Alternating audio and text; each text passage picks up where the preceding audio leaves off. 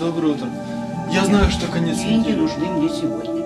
Либо ты платишь, либо я тебя Сейчас выселю. мне нужно два денька доделать, ну пожалуйста. Кричу, чтобы тебя не было.